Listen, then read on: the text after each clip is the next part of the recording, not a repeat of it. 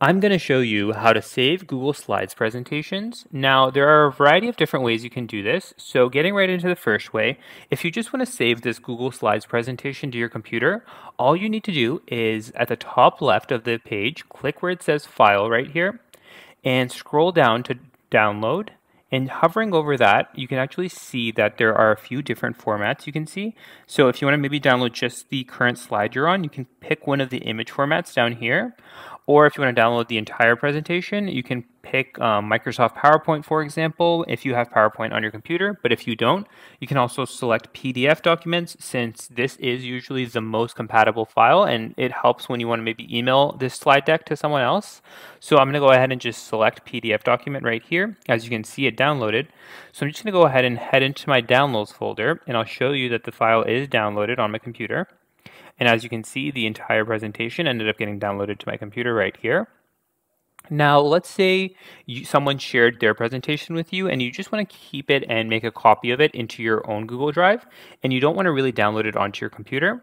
Um, the way you can do that is by going back into File as well, and instead of going to Download, you can actually see there is an option that says Make a Copy. And what you can do is hovering over that, you can make a copy either of the entire presentation or just some, some slides. Let's say I want the entire presentation. You can then go ahead and name it. Um, and I can, you know, I'm just going to leave it as a copy of sample presentation and um, you can select the folder where you want it to save in your Google Drive and then you can go ahead and um, look through some of these options and see really if uh, any of these options are relevant to you. Um, for me, I'm just going to leave everything unchecked and I can just click make a copy.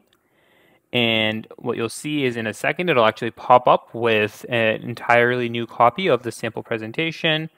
Um, now what I can even do is go ahead and show you if I change the text on the sample presentation um, or the copy of the sample presentation when I go back to the original, you can actually see it doesn't affect that. So that just proves that this is a completely isolated copy of the um, presentation that we have on our own Google Drive now.